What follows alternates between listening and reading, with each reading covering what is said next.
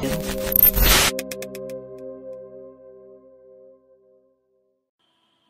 guys welcome back to another video അപ്പോൾ വീഡിയോയിലേക്ക് കിടക്കുന്നതിന് മുന്നേ ഒരു കാര്യം പറയാനുള്ളതെന്ന് വെച്ചാൽ നമ്മുടെ നാട്ടിൽ കലാമിറ്റീസ് ഒക്കെ കൂടി കൂടി വരുവാണ്. അപ്പോൾ എല്ലാവരും പരമാവധി സേഫ് ആയിരിക്കുക ഓക്കെ പിന്നെ പറയാനുള്ളതെന്ന് വെച്ചാൽ നിങ്ങൾ ഈ ചാനൽ ആദ്യമായി കാണുകയാണെങ്കിൽ നിങ്ങൾ തീർച്ചയായും സബ്സ്ക്രൈബ് ചെയ്യണം.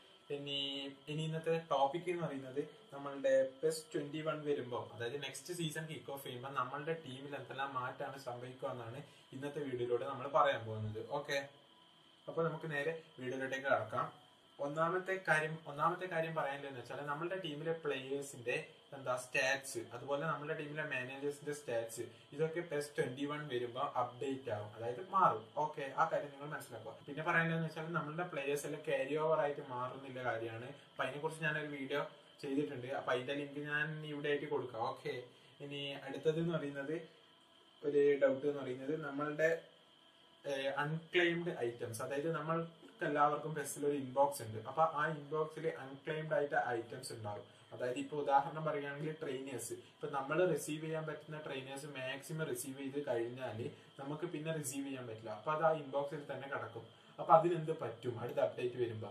അപ്പം അത് നഷ്ടപ്പെട്ടൊന്നും പോകത്തില്ല അവിടെ തന്നെ ഉണ്ടാവും. ഓക്കെ അതാണ് അൺക്ലെയിമബിൾ ഐറ്റംസിനെ കുറിച്ച് പറയേണ്ടത്. ഇനി പറയേണ്ടത് എന്ന് പറഞ്ഞാൽ നമ്മളുടെ കൈവശമുള്ള gold ball black ball silver ball agency ഇത് നമ്മളുടെ ആ ഇൻബോക്സിൽ തന്നെ കിടക്കുകയാണെങ്കിൽ എന്ത് സംഭവിക്കും? അപ്പൊ നമ്മളുടെ കൈവശമുള്ള ഓരോ gold ball black ball silver ball ഈ മൂന്നിനും എത്ര ഒരു എക്സ്പയറി ഡേറ്റ് അവർ തന്നെ കൊടുത്തിട്ടുണ്ട്. ആ ഡേറ്റിനുള്ളിൽ നമ്മൾ റിസീവ് ചെയ്തിട്ടില്ലെങ്കിൽ അത് എന്തായി പോകും? എക്സ്പയർ ആയി പോകും. അതേപോലെ തന്നെ ആ ഡേറ്റിനുള്ളിൽ നമ്മൾ അത് ഓപ്പൺ ചെയ്തിട്ടില്ലെങ്കിൽ അത് എക്സ്പയർ ആയി പോകും. അതാണ് നമ്മളുടെ ഏജൻസിനെ പറ്റി പറയാനുള്ളത്. ഓക്കെ ഇനി പറയാനുള്ളത് നമ്മളുടെ പ്ലേയേഴ്സിന്റെയും മാനേജേഴ്സിന്റെയും കോൺട്രാക്റ്റ് ആണ്. അപ്പം അടുത്ത സീസൺ കിക്ക് ഓഫ് ചെയ്യുമ്പോൾ നമ്മളുടെ എല്ലാ പ്ലേയേഴ്സിന്റെയും കോൺട്രാക്ട് പത്തായിട്ട് പുതുക്കും. അതുപോലെ നമ്മളുടെ മാനേജേഴ്സിന്റെ കോൺട്രാക്ട് ഇരുപത്തി അഞ്ചായിട്ട് പുതിയത് വരും. അപ്പൊ ഉദാഹരണം പറയുകയാണെങ്കിൽ ഇപ്പൊ നമ്മളെ ഒരു പ്ലെയർ ഉണ്ട്. നമ്മൾ അദ്ദേഹത്തിന് കോൺട്രാക്ട് ഒരുപാട് കൊടുത്തു. ഒരു എൺപത് എഴുപത് കോൺട്രാക്ട് കൊടുത്തു. അപ്പൊ അടുത്ത സീസൺ വരുമ്പോൾ അദ്ദേഹത്തിന്റെ കോൺട്രാക്ട് എത്ര പത്തായിട്ട് മാറും. അങ്ങനെ നമ്മൾ ഒരു പ്ലെയറിന് ഇപ്പൊ കോൺട്രാക്ട് പുതിയതായിട്ട് കുറേ ഒന്നും കൊടുക്കേണ്ട ആവശ്യമില്ല. കാരണം അപ്ഡേറ്റ് ചെയ്യാൻ അടുത്ത ഒക്ടോബറിൽ തന്നെ റിലീസ് ആകും അപ്പൊ നമ്മൾ എന്താ?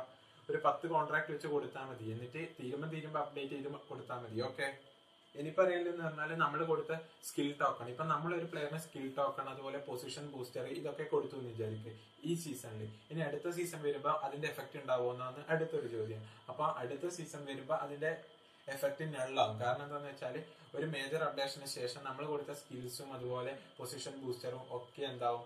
നള്ളായി മാറും. എന്നിട്ട് ഓർഡിനറി ഡിഫോൾട്ട് കണ്ടീഷനിലേക്ക് എത്തും. ഓക്കെ അപ്പൊ ഇനി നിങ്ങൾ അത്രേ ടൈമില്ലൂ അപ്പൊ നിങ്ങൾ ഒരു പ്ലെയറിന് പുതിയ സ്കില്ല് അതുപോലെ പൊസിഷൻ ബൂസ്റ്റർ ഒന്നും കൊടുത്ത് വേസ്റ്റ് ചെയ്യേണ്ടെന്നാണ് ഞാൻ പറയാം. ഓക്കെ അത്രയും കാര്യങ്ങളാണ് ഇന്നത്തെ വീഡിയോയിൽ പറയേണ്ടത്. വീഡിയോ ഇഷ്ടമായാലും തീർച്ചയായും ലൈക്ക് ചെയ്യണം ഷെയർ ചെയ്യണം സബ്സ്ക്രൈബ് ചെയ്യണം.